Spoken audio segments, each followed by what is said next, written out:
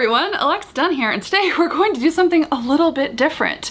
If you have been wondering why everyone on social media, really specifically Twitter, has been talking about kidneys recently, whew, we're going to do a semi-deep dive, really a recap of the New York Times article that is going around entitled, Who is the Bad Art Friend?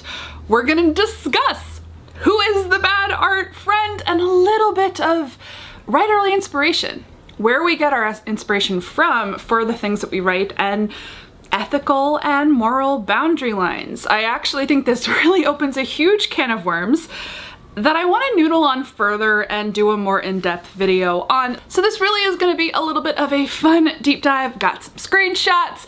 I'm going to clear it up for you so that if you can't or won't use your one free read on the New York Times, I think you get like five a month now, on this article, you'll get the cliff notes here. I just had such a wild time reading this yesterday and yes I did use one of my free reads on this and honestly I do think it was worth it because I was just seeing all these tweets about kidneys and I wanted to know what the jokes were and what the meta was so now you're going to know too. So what the heck is a bad art friend? Who is this about? Why are we talking about kidneys? So a tale of two writers. And on the one hand, you have Dawn Dorland. Dawn altruistically donated her kidney many years ago, but at the time that a lot of this takes place, Dawn had donated her kidney pretty recently. What's notable is that Dawn didn't donate her kidney to a specific person, a loved one, or a friend. Dawn generally donated her kidney so that it would go to a worthy recipient. And Dawn penned a letter to this would-be recipient that would eventually be shared with that person. And just to share her journey, Dawn creates a private Facebook group and invites a bunch of her friends to it. You know that thing though? I think it's that thing where you were added to groups by someone you know. That's basically what it was. We've all been in that circle of hell. And Dawn posts things about her kidney donation journey on this Facebook group and specifically posts the letter that Dawn has written to this potential recipient. Enter Sonya Larson. At the time, Sonya Larson wasn't a published author, but now Sonya Larson is.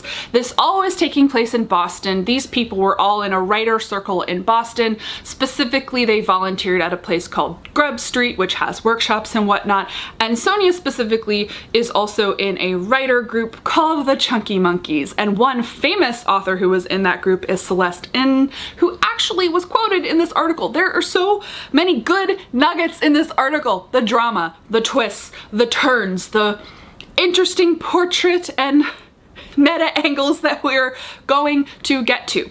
Sonya is in this group that Dawn has added her to, and this is where I'm going to get into screenshots because this is all about direct quotes, and also a great example of journalism because I was reading this, it starts off in Dawn's point of view presenting Dawn's kind of backstory and side of the story essentially, then it ping pongs over to Sonya. It is really presenting both sides so to speak with direct quotes from both of them as well as a ton of people involved in this. Like the sourcing on this, the people who agreed to speak on the record, I was honestly surprised. But it's written in such a way with some clever paragraphs and references. It's really about painting a portrait. I will read some of these and let's see what emerges for you. This You're gonna see why everyone is losing their mind. But just after surgery, when she checked Facebook, Dorland noticed some people she'd invited into the group hadn't seemed to react to any of her posts. On July 20th, she wrote an email to one of them, a writer named Sonya Larson. Then we get a little bit of the backstory of Sonya and Dorland, and I already gave you some of these nuggets, but there is a writer group called the Chunky Monkey. And when I got to this quote, I screamed a little and was like, is this where this is going? One of those writing group members, Celeste Ng, who wrote Little Fires Everywhere, told me that she admires Larson's ability to create characters who have these big blind spots. While they think they're presenting themselves one way, they actually come across as something else entirely. So Dawn emails Sonya basically like, trying to strike up a conversation and manages to work in, oh, did you see that I donated my kidney? And this is what comes back. Only then did Larson gush, ah yes, I did see on Facebook that you donated your kidney. What a tremendous thing. Asterisk, can I just point out that throughout this, you can tell that these are adult literary writers because they, they, I'm way more casual than this in the email and the group chat. Tremendous, what a word. Afterward, Dorland would wonder, if she really thought that it was great, why did she need reminding that it happened? A bit further down, they wouldn't cross paths again until the following spring, a brief hello at AWP, the annual writing conference where the subject of Dorland's kidney went unmentioned. A month later at Grub Street Muse Conference in Boston, Dorland sensed something had shifted. Not just with Larson, but with various Grub Street eminences, old friends and mentors of hers who also happened to be members of Larson's writing group, the Chunky Monkeys. Barely anyone brought up what she'd done, even though everyone must known she'd done it. It was a little bit like if you've been at a funeral and nobody wanted to talk about it. It was just strange to me, she said. I left that conference with this question. Do writers not care about my kidney donation? Which kind of confused me because I thought I was in a community of service-oriented people. Now you know why everyone on Twitter is saying, does no one care about my kidney donation? Or some variation on, on that meta joke direct quote. So that's basically like part one, act one of this, I guess we'll call it a drama. A tale of two writers. One altruistically donates her kidney, creates a private Facebook group, posts stuff to it, and is really gobsmacked when fellow writer friends don't congratulate her on it or pat her on the back for it or bring it up at all. But then the story turns. Act two of this story. So there's a bit more back and forth between Dorland and Larson. All the quotes are in the New York Times article. I suggest you read them. Again, I didn't want to copy everything and go overboard, but the long story short is they have a little back and forth and that's that. But then someone tags Dawn in a Facebook comment. It is a Facebook comment saying like, oh, I see that Sonya is writing a short story about kidney donation. Like, you must be the inspiration. That's so nice. And they tagged Sonya. And so Dawn waits. Dawn's like, first, of course, going like, is Sonya writing something about kidney donation? But then waits for Sonya to say something. And she doesn't. So Dawn messages her. And Sonya doesn't respond she sends an, an escalating message. She messages her again. And it builds and there's no response. And then 10 days later, Larson wrote back saying yes, she was working on a story about a woman who receives a kidney, partially inspired by how my imagination took off after learning of your tremendous donation. That word again. In her writing, she spun out a scenario based not on Dorland, she said, but on something else, themes that have always fascinated her. I hope it doesn't feel too weird for your gift to have inspired works of art, Larson wrote. Dorland wrote back within hours. She admitted to being a little surprised, especially since we're friends and you hadn't mentioned it. The next day, Larson replied, her tone a bit removed, stressing that her story was not about you or your particular gift, but about narrative possibilities I began thinking about. There's a little bit more from there. Cooler and cooler messages. Larson leaning back, Dorland leaning forward. We come to a time jump. Dorland decides, I'm going to leave it. She sees that something is published by a small audiobook company that will narrate and publish short stories. She ignores it. She doesn't want to know what this inspiration ended up being from Sonya. She leaves it. But then Sonya's career starts to take off. There are lots of great little nuggets here, but in the interim, I want to share, because this is where the story ping-pongs back to Dorland's point of view, I just want to share this nugget of a line. Dorland is not shy about explaining how her past has afforded her a degree of moral clarity that others might not come by so easily. So Sonya's career is taking off. She has a couple of short stories published in notable places, and this specific story starts building some steam. Specifically, it is selected at the Boston Book Festival for One City, One Story, and this is the point where Dawn decides to actually read it.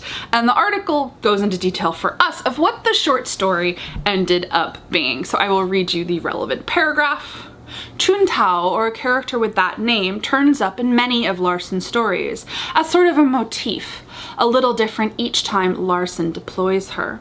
She appears again in The Kindest, which is what the short story ended up being.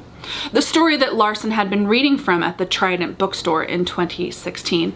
That is when the person on Facebook uh, tagged in Dawn saying, hey, didn't know you inspired a story. Here, Chuntao is married with an alcohol problem. A car crash precipitates the need for a new organ, and her whole family is hoping the donation will serve as a wake-up call, a chance for Chuntao to redeem herself. That's when the donor materializes, white, wealthy, and entitled. The woman who gave Chuntao her kidney is not exactly an uncomplicated altruist. She is a stranger to her own impulses, unaware of what she considers a selfish act also contains elements of intense, unbridled narcissism. That's like the midpoint turn in this story. This is where, this is the first, the first time when, because, you know, so many of us narrated the experience of reading this to our, our, friends in our own group chats, which we're gonna come to that third act plot twist uh, of like the gasp of like the shade.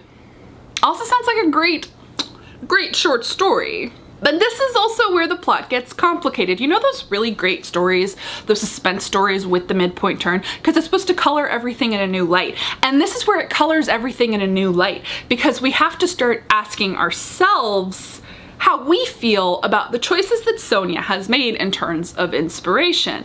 Who is the bad art friend? This is when it starts to snowball. Little, little snippet here. In early drafts of the story, the donor character's name was Dawn. I'm gonna remind you that this is about Dawn Dorland, the character was named Dawn. In later drafts, Larson ended up changing the name to Rose. We're going to talk about versions of the draft of this short story. We we are going to talk about that. But now back to the the the, the growing escalation of what some of this back and forth is. Who is who is the bad art friend? Dorland could keep the kindest out of her life for only so long. In August 2017, the print magazine American Short Fiction published the short story. She didn't buy a copy. Then in June 2018, she saw that the magazine dropped its paywall for the story. The promo and the opening essay on American Short Fiction's homepage had startled her. A photograph of Larson side by side with a shot of the short fiction titan Raymond Carver. I love the literary drama going on here. This is just, this is like MFA, like WWE. The comparison does make a certain sense. In Carver's story, Cathedral, a blind man proves to have better powers of perception than a sighted one. In The Kindest, the white savior kidney donor turns out to need as much salvation as the Asian American woman she helped. Still, seeing Larson anointed this way was, to say the least, destabilizing this whole story is about like jealousy and pettiness and interesting, interesting choices. We're, we're coming into our, our, our break into three. we're, we're all about the plot twists. So she reads this version of the story and there are things that are concerning to her that like the, there's a letter in the short story written from the donor to the intended recipient and it, it felt very spiritually similar to her, to her own letter, but it wasn't her letter, but regardless, she starts to feel very, very concerned. And this is when everything turns. She finally listens to that earlier published audiobook of the earlier draft of the short story. We're gonna talk about drafts. And when she listens to that audio recording, the letter, Dorland's letter, Personally, my childhood was marked by trauma and abuse. I didn't have the opportunity to form secure attachments with my family of origin. I'll read you the first line of the letter from the early audio published version. My own childhood was marked by trauma and abuse. I wasn't given an opportunity to form secure attachments with my family of origin.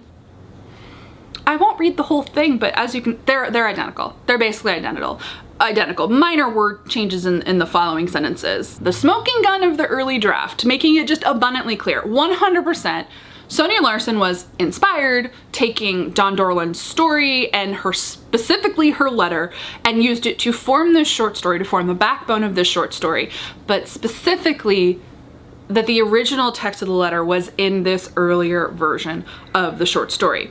Now, it's not in the version of the short story that's being published in the American Short Fiction Anthology or being highlighted by the festival. However, the letter still feels spiritually similar. Dawn did read that version when she saw the free preview of it. And so Dawn starts emailing everyone she can think of, contacting everyone she can think of at the anthology. She reaches out to the Boston Globe. She reaches out to the Boston Book Festival and basically says like, this woman is a plagiarist. How do you feel about someone plagiarizing? She emailed like schools that Sonya had gone to. Like she goes on the warpath. She hires a lawyer and is basically saying to the festival, like, because the festival was going to distribute the short story for free to 30,000 people in Boston. And she said, I will sue you basically if you do this. Which meant finally Sonya has to start responding and defending herself. So this is the first time Sonya really kind of responds to this. Sonya writes to the Boston Globe and says, Anyone who sympathized with Dorland's claims afforded Dorland a certain privilege. My piece is fiction, she wrote. It is not her story, and my letter is not her letter. And she shouldn't want it to be. She shouldn't want to be associated with my story's portrayal and critique of white savior dynamics. But her recent behavior, ironically, is exhibiting the very blindness I'm writing about, as she demands explicit identification in and credit for a writer of color's work. So this is really where the plot thickens. And she makes a good point in the sense of, yeah, uh, you shouldn't really want to be identified as this character uh, because of what the short story is is displaying, but the, the, the plot thickens. We're, we're almost at act three now. I'm about to give you that plot twist.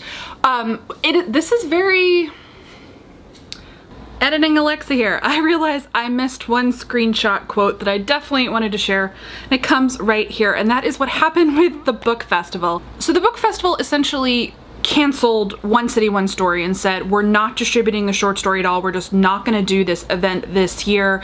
And frankly, we could sue you because there is a clause in the contract that was signed like saying this is my own work. And this represented a huge setback, potential setback in Larson's career. And I'm sure she was really freaking out. Well, she had some of her friends like go to the book festival to try to defend her. And the response from the book festival, I just thought was like another little like moment in this story when the Chunky Monkeys co-founder Jennifer DeLeon made a personal appeal invoking the white savior argument. The response from Porter was like the slamming of a door. That story should have never been submitted to us in the first place, Porter wrote. This is not about a white savior narrative. It is about us and our sponsor and our board not being sued if we distribute the story. You owe us an apology. Porter then emailed Larson too. It seems to me that we have grounds to sue you, she wrote to Larson. Kindly ask your friends not to write to us. Whew. This story, y'all.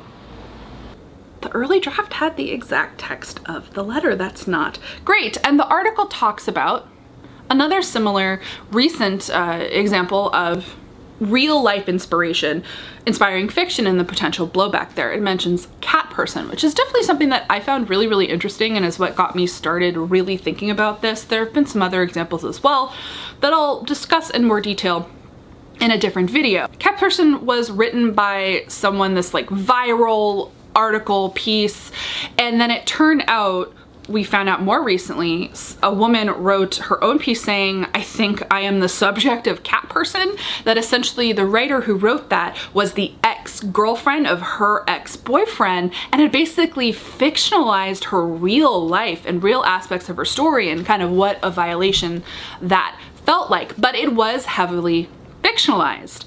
So the article says the kindest, however, contains something that cat person does not. An actual piece of text that even Larson says was inspired by Dorland's original letter. At some point, Larson must have realized that that was the story's great legal vulnerability. Did she ever consider pulling it out entirely? And then it talked to her and she said she did consider pulling it out, but the letter was like this really important part of the kind of story structure. And this is where we get to the to the great plot twist. The thing that had every writer girding their loins, clutching their chest, considering deleting their internet history. So this all turns into a lawsuit. And actually Sonya files first. Sonya files against Dawn for defamation and Dawn files a countersuit. This is still an active lawsuit, but this is where we get into discovery. The third act plot twist, which was as part of the lawsuit, they subpoenaed the group chats. Everyone take a moment of silence for the authors in the group chat. Because no matter how you feel about the content or the morality of a salty group chat, they're supposed to be sacred. Uh, private author chat spaces, private chat spaces should be private, but they weren't in this case. I'm really curious.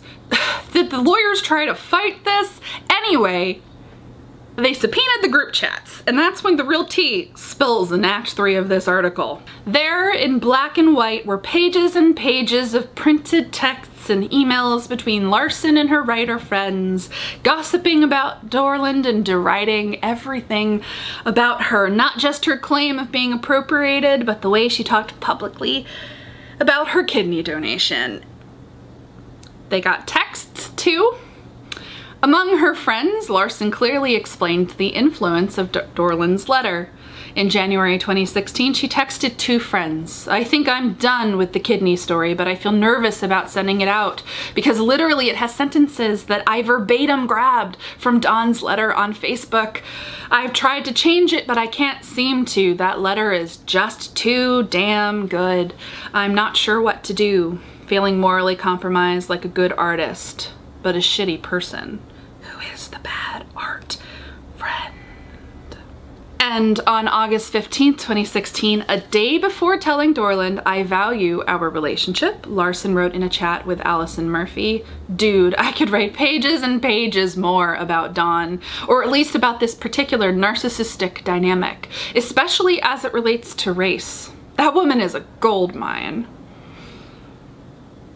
Whew. That's the end of my screenshots, not the end of the article. Uh, the story is not done essentially because this lawsuit is still pending. That is the cliff notes, but seriously read the article. There's so much more. Who is the bad art friend? There's a ton more from Larson, again, why I do recommend you read it. And she basically says, because this is where we get into the inspiration. What are the ethics and the morality of what inspires fiction? We're writers, we all pull from real life for our fiction. Where are the lines? Larson says this is art. This is she she was inspired by something real, uh, and and it's it's clear. she she won't admit it outright, but when you take the Celeste Ng quote and the description of the short story plus that text message, RIP, private chat and group messages and texts and private emails, um, it's very clear that, well, okay, so let's get into the meta of this. And again, why I do recommend reading this. This is some great journalism. I spent half of this article, its journey to go on, because I spent half of it going, wait, who is the hero of this piece? What is the lens for this piece? All journalism has lensing. All journalism has bias. You're always going to approach something from a point of view because you are choosing uh, the quotes that you insert and the best journalism is you use someone's own words to say what you will and this piece does that a lot with Dawn Dorland.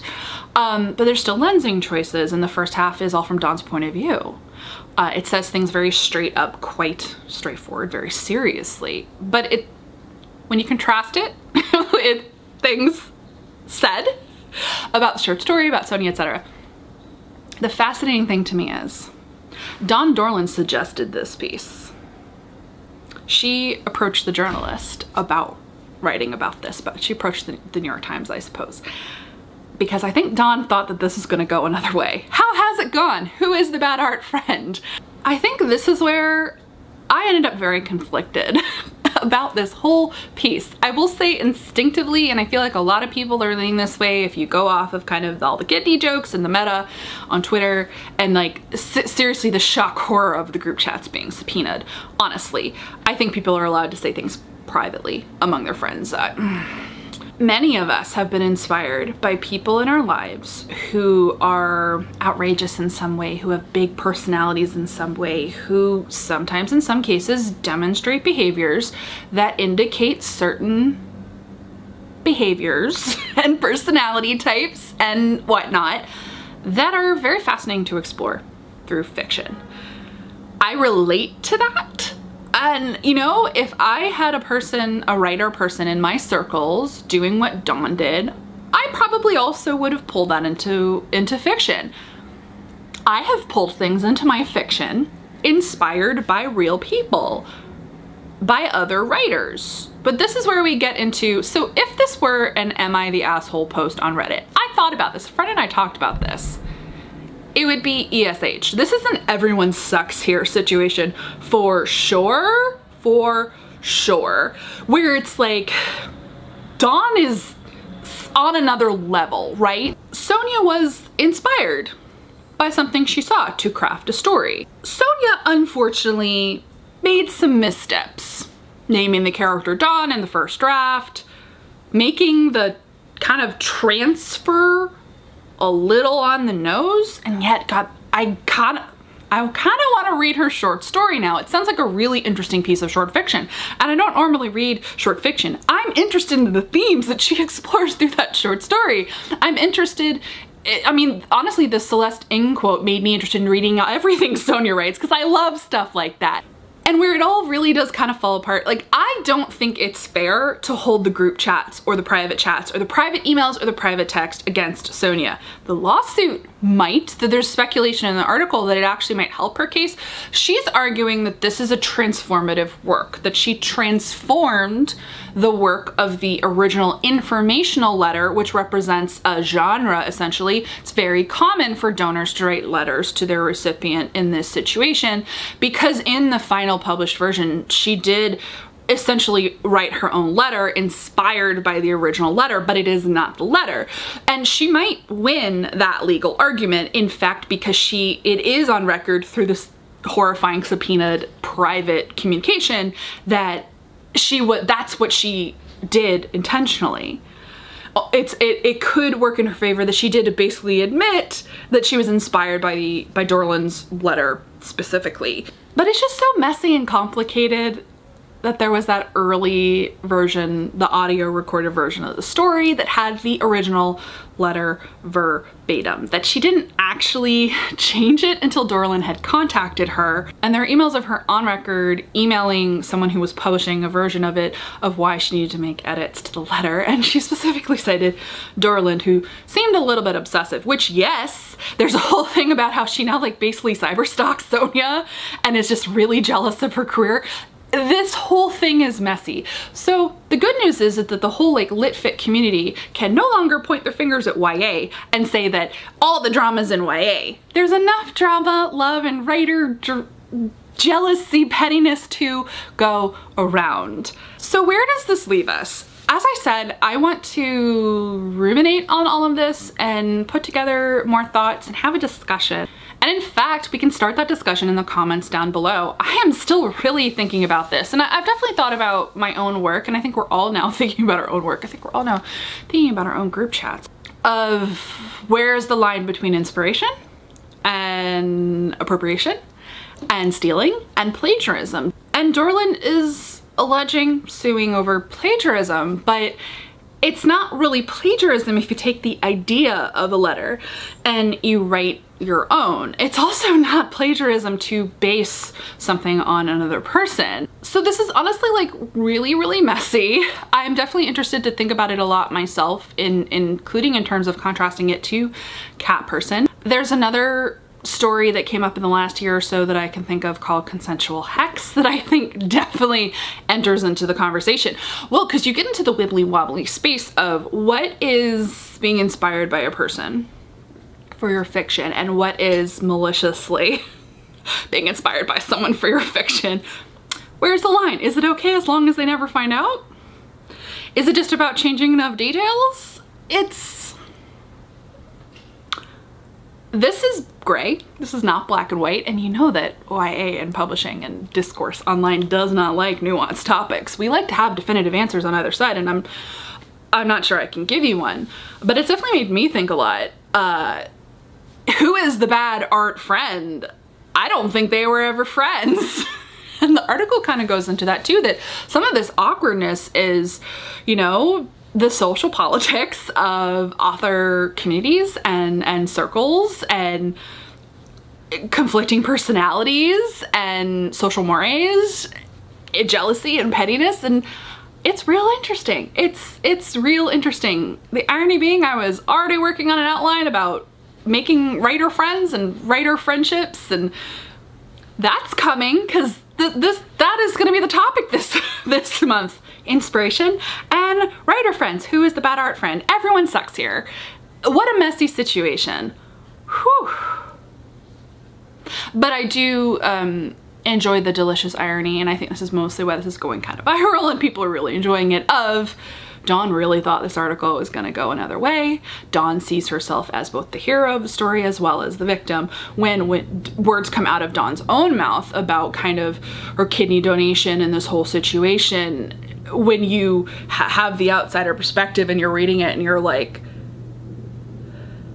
that's not normal and I and I think that's where it's interesting putting yourself in the shoes because you're like I would probably also talk about it in the group chat. And I might also be inspired for fiction. And I think we all have to do our soul searching and ask ourselves that question. In what ways have we been inspired by real life for our fiction? What steps have we taken to mine that inspiration? That is definitely an aspect of art. Let me know down below in the comments what you think. Did you read the article? Are you just like reacting to what I'm telling you about this whole situation? Would you also vote everyone sucks here if this were an Am I the Asshole post?